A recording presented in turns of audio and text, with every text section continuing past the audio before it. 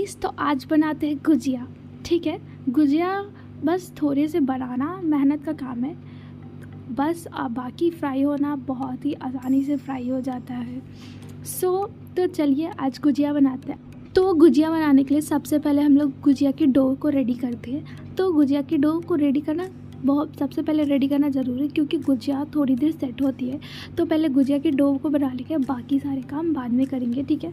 तो उसके लिए हमें क्या चाहिए? आप यहाँ यूज़ कर सकते हो ऑल पर्पज़ फ्लोर और जितना मैंने यहाँ ऑल पर्पज़ फ्लोर लिया उससे आप पच्चीस से गुजिया आराम आराम से 24 से 25 गुजिया बना सकते फिर हमारे डो में आप ऐड करो, या तो आप यूज़ कर सकते हो घी और कुकिंग ऑयल यहाँ मैंने यूज़ किया कुकिंग ऑयल फिर उसमें चुटकी भर साल्ट डालेंगे, ठीक है? नमक। चुटकी भर नमक डालना है। टू मेक गुजिया नमकीन एंड गुजिया के डो को अच्छे से मिक्स करना है। अच्छे से इसलिए मिक्स करना है ताकि हमारी जो गुजिया है, वो बहुत ही कुरकुर बन सके जब आप खाएँ।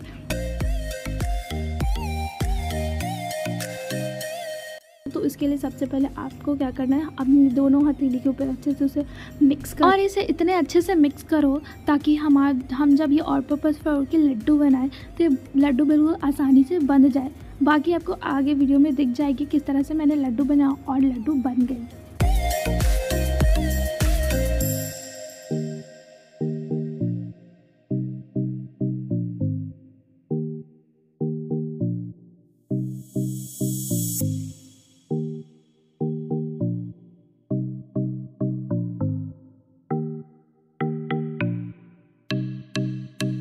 एंड गाइस मैंने मैजिक किया और हमारी डो रेडी हो गई।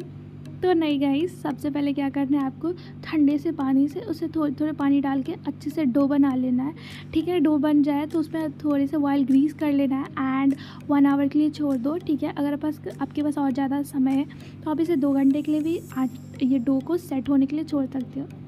अब हम लोग क्या करें, अब हमारे दूसरे स्टेप में है, जहाँ हम गुजिया के लिए रवा रेडी कर रहे हैं। तो रवा यहाँ पे आप घी डालो और उसमें मैं यहाँ पे मेजरिंग कप से यहाँ मैंने पाँच कप रवा का यूज़ किया है। बस क्या करना है, आपको मीडियम फ्लेम पे इसे अच्छे से स्टर करते रहना है एंड इसको लाइट ब्राउन कलर देना है। कुक करते रहो, जब ये लाइट ब्राउन कलर की हो जाएँगे तो आप अपने गैस के फ्लेम को ऑफ़ कर देना है एंड इसे बड़े से बर्तन में ट्रांसफ़र कर देना है, ठीक है, ताकि ठंडा हो सके।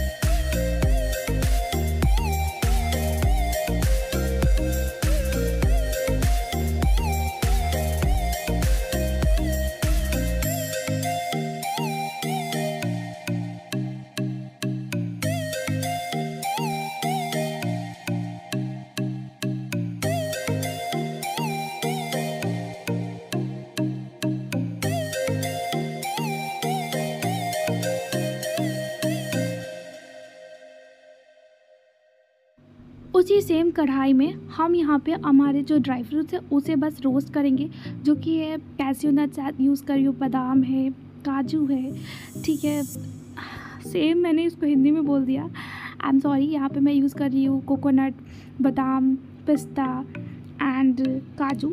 इन सबको अच्छे से स्टर करो एंड बस थोड़े से दो मिनट लगेंगे, आराम से कुक हो जाएँगे। इन्हें भी कुक करो एंड सेम रवा वाले बर्तन में डाल लेना, जिसमें आपने रवा को डाला है।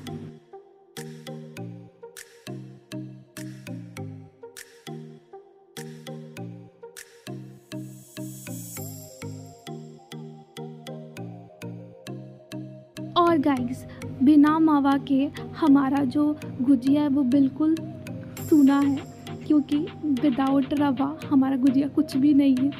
तो क्या करें, यहाँ पे मैंने रवा खुद से बनाया है। अगर रेसिपी चाहिए तो बस बता देना, मैं फिर से रवा की भी रेसिपी एक बना के बता दूँगी। बहुत आसान है बनाना, बस आपको ट्वेंटी मिनट्स लगेंगे, आराम से बनने के बाद उसे स्टार्ट करते रहो एंड कुक करते रहो।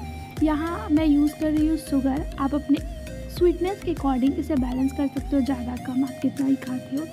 एंड बस इसे मिक्स करो अच्छे से। एंड यहाँ मैं टेस्ट कर रही थी कि हमारा जो ये रवा में, रवा बहुत स्टफिंग में चीनी कितनी है तो बिल्कुल परफेक्ट थी चीनी, और हमारी स्टफिंग बिल्कुल रेडी है। तो अब हमारा नेक्स्ट प्रोसेस क्या है?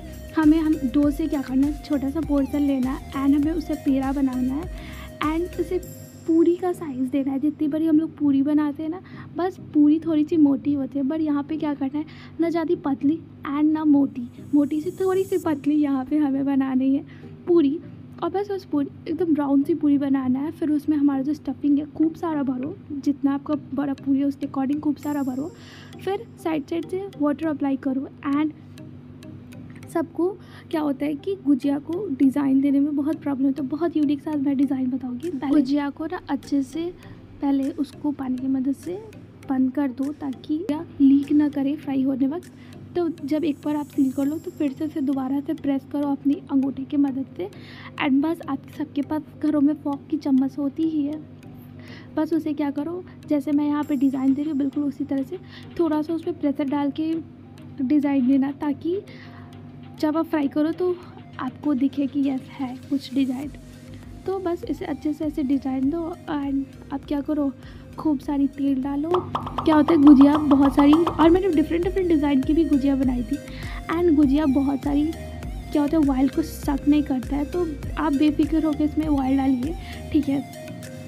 और बस इसे लो फ्लेम पे एंड आपकी सबसे इंपॉर्टेंट आपकी ऑयल ना ज़्यादा हीट होनी चाहिए। ज़्यादा हीट होगी तो आपका गुजर अंदर से कुक नहीं होगा और फिर क्या होगा, ऊपर से जल्दी गोल्डन ब्राउन हो जाएगा। एंड अगर आपकी गैस की फ्लेम कम होगी तो गुजिया सारा ऑयल को सक कर लेगा। बस उसके बाद क्या करना है? मीडियम फ्लेम पे कुक करो अच्छे से एंड हमारी गुजिया बहुत ही टेस्टी बनी थी। बहुत ही कुरकुरी सी हमारी गुजिया थी। एंड स्टफिंग तो लाजवाब था तो अच्छा लगा वीडियो गुजिया ज़रूर ट्राई करना एंड वीडियो अच्छी लगी तो सब्सक्राइब